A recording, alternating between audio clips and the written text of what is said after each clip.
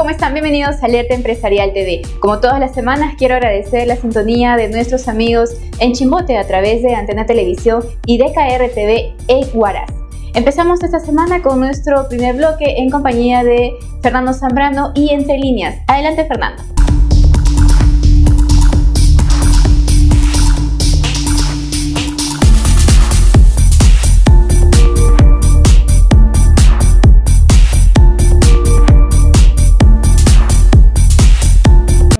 Y sucedió lo que tenía que suceder en Bolivia. ¿Qué es lo que ocurre normalmente en todos estos um, gobiernos que se instauran inicialmente como democráticos, luego van en la línea del foro de Sao Paulo, yéndose a tendencias socialistas, y al final pues terminan con el repudio de su población, teniendo que huir del país, como ha ocurrido en el caso de Evo, y que lamentablemente el país tuvo un procedimiento o una posición favorable eh, al permitir que aterrice el avión presidencial de México que le ha concedido el asilo y se reabastezca combustible camino a Bolivia para recoger pues al dictador Evo Morales y trasladarlo hacia ah, México, que es el país de asilo, y con el cual tiene pues coincidencias eh, ideológicas. Eh, es inexcusable la forma en que se ha llevado a cabo todo este proceso en Bolivia. Pero vamos a repasar, yo hace algunas semanas a propósito um, del quebrantamiento del orden constitucional en el país, el día que se disolvió el Congreso, um, en un programa les expliqué más o menos cuáles eran las fases o los tres pasos previos que generalmente se dan eh, camino a un rompimiento del orden constitucional y con miras pues a algo más allá que lo vamos a comentar hoy día y que tiene prácticamente que ver con el famoso proyecto socialista bolivariano aquel que se concibió en el foro de Sao Paulo, que valgan verdades, considerando que todos los, eh, los presidentes que han entrado en este, en este proceso del foro de Sao Paulo han terminado pues con denuncias por, por temas de corrupción, de lo más bien podría cambiarse el nombre eh, de foro de Sao Paulo por quizá otro tipo un poco más acorde al resultado de estos procesos. Pero revisemos un poco, repasemos lo que comentamos ¿Cómo es que se llega? En realidad, eh, bajo mi modo de ver este, este foro de Sao Paulo, ha elaborado un esquema que comienza con Chávez y que pasa por cuatro fases. En una primera fase están los actos preparatorios para instaurar el modelo socialista bolivariano. En, un segunda, en una segunda fase está ya la ejecución de ese plan que han ideado para, en, en el Foro de Sao Paulo para tomar posesión de toda la región bajo el esquema bolivariano socialista, ¿no? Eh, luego ya viene un proceso pues de dictadura propiamente dicho y termina pues al final con, como ocurre normalmente en este tipo de dictaduras, con la caída del régimen. Les expliqué hace unas semanas que en, este en esta primera fase, que es una fase de populismo, de actos preparatorios para el fin que es realmente perennizarse en el cargo más adelante e instaurar este modelo chavista, este modelo Ah, socialista. Dentro de esta primera fase se dan básicamente cuatro pasos. El primer paso es generar un enemigo imaginario, un enemigo al cual eh, el pueblo tenga que enfrentar, eh, porque bajo el esquema del discurso populista, el populista le dice a la población que en realidad todos sus males se deben a que hay ese enemigo imaginario al cual hay que combatir. Hay que unirse para combatirlo, para derrocarlo para poder eh, lograr la satisfacción de todo aquello que requiere una población. el discurso populista es clave en esta primera fase. Un discurso que va poco a poco ingresando al colectivo de un país hasta lograr posicionarse y generar pues, ese enemigo común. Que puede ser, generalmente son organismos de lo, que tienen más debilidad institucional. En este caso puede ser el Congreso, en otros países la Asamblea Legislativa, como, como es el caso de Venezuela, aquí fue el Congreso, se generó ese enemigo, imaginario, se enfrentó al pueblo con él y terminó en lo que ya sabemos. El segundo paso que va como acto preparatorio, que puede ir en simultáneo, luego de haber generado este enemigo imaginario y lograr ese enfrentamiento del pueblo con la institución que has elegido para que sea el enemigo imaginario, tienes que tener control de los medios de comunicación según este plan. Y hay dos formas de tener el control de los medios de comunicación. O los confiscas, como hizo Chávez, compras indirectamente las líneas editoriales vía publicidad estatal. En el caso de Venezuela, es claro que lo que hubo fue con actos de confiscación de todos los medios de comunicación y como le dije en aquella oportunidad, eh, cuando inicia Chávez en su gobierno, el Estado solamente tenía un medio de comunicación oficial. Luego de avanzar en este segundo paso de esta primera fase del plan bolivariano, se hizo pues de 10 medios de comunicación influyentes, tanto radio, televisión como prensa escrita. Entonces es necesario pues dentro de este plan eh, tomar el control de los medios de comunicación para no tener voces contrarias desde los medios de comunicación. Necesitas que los medios de comunicación no enfrenten al gobernante y que a la vez eh, logren quizás aplausos hacia cualquier acto del proyecto de dictador que viene en camino, el proyecto social, socialistoide. El tercer elemento es crear una especie de policía, una policía que tiene eh, una connotación básicamente política, que obedece y responde no a los órganos jerárquicos de la policía ah, institucional, orgánica dentro del Estado, sino una policía política que responde básicamente a las altas esferas del poder. En el caso de Chávez hicieron esta especie de milicias em, que ustedes lo ven, andan en motos, persiguen a los opositores, golpean, ante cualquier marcha salen. Bueno, son una especie de milicias que responden al a las altas esferas del gobierno. No pasan por su Ministerio del Interior, no pasan por su orden jerárquico, nada. Son milicias. En algunos países lo que ocurre es que genera una policía paralela. Son policías, pero eh, los apartan para tener responsabilidades básicamente políticas y que dependen y responden también solamente al presidente de la República o a sus eh, eh, más cercanos allegados al presidente de la República. Ya estamos pues entonces en un segundo paso, el objetivo de este caso, de este segundo paso es evitar cualquier tema revuelta y lograr pues quizás vamos a ver más adelante, asustar, extorsionar a algunos opositores. Y el cuarto paso de, estos, eh, eh, de esta primera fase eh, del plan socialistoide este, bolivariano es tener el control de las Fuerzas Armadas, tener el control de los otros poderes del Estado.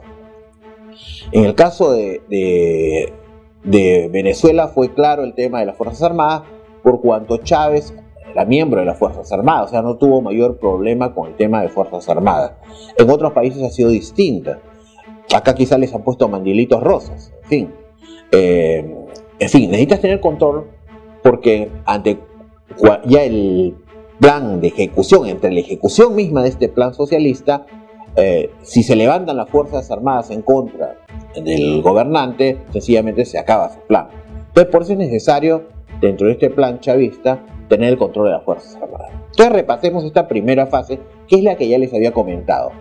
Primer tema, generar un enemigo imaginario y enfrentarlo con la población para debilitar su posición. Segundo tema, controlar los medios de comunicación para evitar reacciones en contra desde los medios de, comunicación. Tercer tema, tener una policía política que esté al servicio del gobernante de turno para poder cumplir propósitos básicamente políticos. Y cuarto elemento, tener el control de las Fuerzas Armadas y de los otros poderes del Estado, que lo consigues vía extorsión o sencillamente, como en el caso de Venezuela, derrocaron a la Junta Electoral, derrocaron a la Asamblea Constituyente, al Tribunal Constitucional, en fin, todas las instituciones que podían ser, eh, ser un, representar un obstáculo para los propósitos de este plan. Entonces, estas cuatro etapas son eh, de fase preliminar, son los actos preparatorios que están básicamente sustentados en una etapa eh, fundamentalmente de populismo puro. En una segunda etapa ya comienza la ejecución del plan este, socialista. Y en esta segunda etapa ya entra pues a un gobierno de facto. Recordemos en el caso de Chávez, entró como un gobierno ah, democrático en elecciones regulares y luego se convierte en un gobierno de facto. Eso es lo que ocurre acá eh, al haber roto el, el orden constitucional y disolver el Congreso, y lo que ocurrió en Bolivia cuando comenzaron las re, re, re, reelecciones de Evo. En fin, repasemos este, esta segunda fase de este socialismo bolivariano. En esta segunda fase, ya teniendo los medios a favor, teniendo las Fuerzas Armadas controladas, teniendo los otros poderes controlados, teniendo a tu favor al pueblo porque has generado un enemigo común en el Congreso que podría ser otra o otra institución que podría alterar tus propósitos, proceden a la disolución del Congreso o de la Asamblea. En, eh, en Venezuela fue la Asamblea, la disolvieron, acá eh, el Congreso. Procedes a la disolución y a la convocatoria de una Asamblea Constituyente, que es camino al siguiente paso, que es eh, permitir en una nueva Constitución la reelección del mandatario, que ya al disolver el Congreso o, o la Asamblea lo que ha hecho básicamente es convertirse en un gobierno de facto, el que está en las manos de este control o de ejecución de este plan. Entonces, le decía, disuelves el Congreso, la Asamblea, convocas Asamblea Constituyente, logras modificarla para una reforma vía reforma constitucional para que exista reelección pues eh, prácticamente indeterminada y comienza pues el control de las masas, de las multitudes vía prebendas, comienzan a hacerse regalos, ofrendas a la población y el presupuesto comienza pues a verse seriamente afectado, ¿no? Es lógico que ante el eh, cierre del Congreso, de la Asamblea, ante la convocatoria de Asamblea Constituyente, los elementos de oposición comienzan, o los actores de la oposición, comienzan a elevar sus voces. Entonces hay que controlarlos. Entonces en esta segunda fase, que es ya de ejecución, se comienza con un nivel de persecución muy fuerte, persecución política a todos los opositores. Y para ello es vital pues eh, el control en los estamentos, eh, tanto Tribunal Constitucional, eh, Poder Judicial, Fiscalía de la Nación, Procuraduría en otros países, y de la Policía Política, que es bastante vital, porque a través de estas policías políticas lo que hacen es escuchas ilegales, detenciones arbitrarias, y consigue pues presos políticos. Entonces, es, un periodo de ejecución ya mucho más sólido, ya desaparece el Congreso, modificas la, creas la Asamblea Constituyente, modificas la Constitución, permites que haya reelección indeterminada y a todo aquel que levanta la voz opositor eh, comienza la, policía política, comienza la persecución política, comienzan las prisiones políticas, comienza ah, las violaciones de derechos humanos y un resquebrajamiento total del orden democrático. Es por ello que digo que en esta segunda etapa ya entran a ser un gobierno de facto a partir de la disolución del Congreso de la República. Una tercera etapa ya es en la que pasamos a una etapa de dictadura propiamente dicha, una etapa de dictadura en la que hay tiranía, hay mucha corrupción generalizada. En esta etapa ya entran a, fases casi programáticas del socialismo. Comienza a suprimirse poco a poco los derechos de la propiedad privada. Recordemos, lo, expliqué en algún programa pasado, que bajo el esquema socialista, estos 10 puntos iniciales dentro del plan socialista para llegar posteriormente al comunismo está la supresión de la propiedad privada, porque ellos plantean la igualdad, todos tienen que tener la misma cantidad de riqueza. Y si alguien tiene más, la única forma de equiparar es quitarle, con lo cual violas la propiedad privada para darle a los que menos tienen supuestamente y al final lo que termina distribuyendo es riqueza porque nunca vas a conseguir que todos sean ricos y lo que vas a conseguir es que la población no tenga aspiraciones de superarse porque no puede adquirir bienes propios. Todo aquello que vaya a superar a cualquier vecino, sencillamente te lo quita. Entonces comienza una etapa de eliminación de la propiedad privada ah, continuamente al extremo que en algunos casos ya muchos ante el, hecho de que el fáctico que les van a quitar la propiedad abandonan inclusive sus propiedades y es lo que vemos en Venezuela, muchas propiedades abandonadas, muchas propiedades en las cuales eh, hay usurpación, han entrado supuestamente los que se sienten con derecho, igual que fue acá en la época de reforma agraria, la tierra es de, la quien, de, la quien la trabaja, allá es las viviendas o de quien no tiene vivienda, entonces invaden estas propiedades privadas y se cercena pues el derecho de propiedad, todo bajo el consentimiento, por cierto, de un gobierno que no hace nada ante estas violaciones o estos atentados a la propiedad privada. En Venezuela ustedes revisen la cantidad de casas que están en venta, pero gran, gran cantidad de ellas están en realidad abandonadas o tomadas por estas huestes eh, chavistas que se consideran como un derecho indebido a invadir cualquier propiedad privada porque les corresponde, según ellos, dentro de esta política de que todos deben tener lo mismo, nadie debe tener más de una propiedad, porque para vivir basta uno, si tienes dos, tres, ya no te sirven, te las quita el Estado, te las confisca. Entonces, una primera etapa, como le decía, es eh, en esta fase 3, que es de dictadura previamente, es suprimir la propiedad privada. La otra fase es, eh, comienza, a propósito del despilfarro que comienza a ver, porque ya la fase inicial del populismo comienza a desvanecerse poco a poco, el pueblo ya no se siente satisfecho solamente con palabras, entonces comienza a pedir más. Y lo que hace el gobierno comienza a despilfarrar el dictador, el erario público comienza a dar dádivas a todos, tratando de mantener uh, un control de las masas para evitar que se subleven entre ellos. Y eh, como es eh, previsible, se cierran los mercados, se cierran las empresas, porque si nadie puede tener más, cierras empresas, las confiscas. Entonces comienza a existir escasez, escasez de productos básicos, alimentos, medicinas, y comienza a generarse un descontento y el erario nacional no resiste el entregar dádivas eh, a la población para mantenerla eh, contenta y comienza pues una etapa de persecución más fuerte porque ya la población comienza un poco a desesperarse ante esto y, a mostrar malestar y los políticos de oposición comienzan también a hacer eh, unas voces más críticas que ya se extienden más allá de las fronteras del país y comienzan a irse con voces críticas hacia países vecinos o mucho más allá, ¿no? Entonces, en esta etapa ya de dictadura comienza un nivel de tiranía, eh, la corrupción se generaliza, no hay ningún control, no hay Congreso que te controle, no hay asamblea que controle todos los poderes que podrían fiscalizarte, poder judicial, fiscales, todos están controlados. Nadie puede decir que tus actos son inconstitucionales porque tienes también el control del Tribunal Constitucional. En consecuencia comienza un despilfarro eh, eh, y una corrupción generalizada, digo, porque no solamente corresponde al gobernante, sino todos los actores propios, de, los cómplices de estos dictadores, comienzan a generar riqueza y lo vemos, pues todos los dictadores que han terminado dentro de estos procesos socialistas han terminado enriquecidos sustancialmente, tanto el dictador como sus familias. Lo vemos en las millonarias sumas que se encontrado en la familia Chávez, en el caso de Castro, en Evo se acaba de firmar, no sabemos si esto es cierto, cuando desciende el avión en Paraguay, el avión que iba de tránsito a México, eh, estos camiones de seguridad Prosegur comienzan a ir hacia el avión. ¿A, qué? ¿A dejar dinero? ¿Qué cosa estaba pasando ahí? ¿A recoger? En fin, hay cosas que hay que investigar. Pero generalmente en estos, estos casos ocurre eso, ¿no? Ocurrió también en el caso de Lula, ¿no? Se encontraron varias propiedades. en el caso de Kirchner, lo mismo. Es decir, son procesos los cuales ante la falta de control, la falta de fiscalización, ante la falta de órganos que se encarguen de eso constitucionalmente, como es el, eh, el Congreso, la Asamblea, como es eh, la Fiscalía, como es eh, el Poder Judicial, sencillamente es tierra de nadie y los dictadores y sus allegados sencillamente se enriquecen con el erario nacional.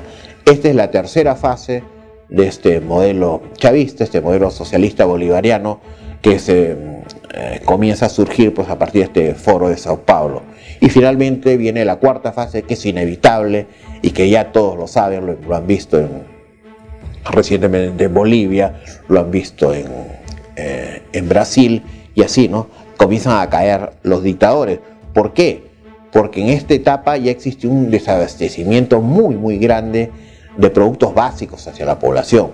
No tienes medicina, no tienes alimentos, no hay empleo, la remuneración es exigua, no hay libertad de tipo de cambio, ya no hay empresas porque todos los que tenían empresas supuestamente eran ricos y les confiscas todo.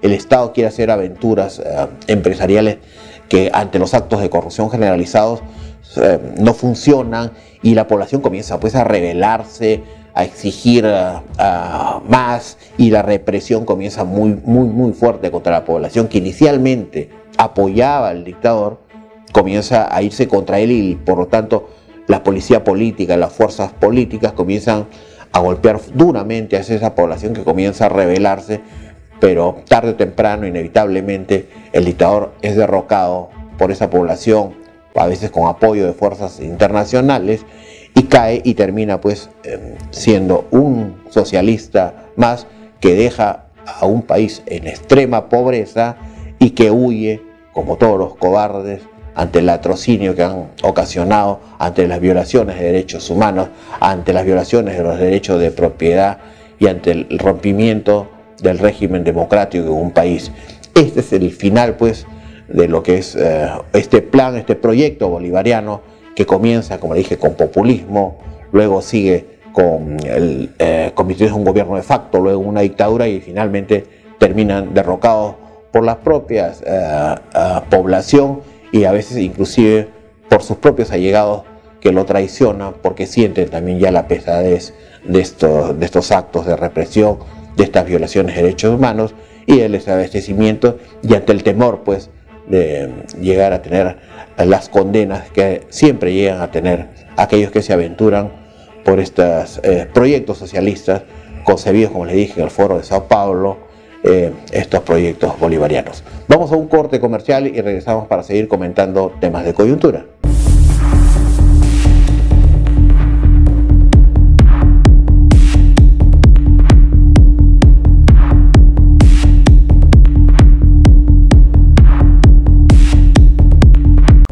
Bien amigos, no se muevan, nosotros regresamos después de este pequeño corte comercial con Alerta Empresarial.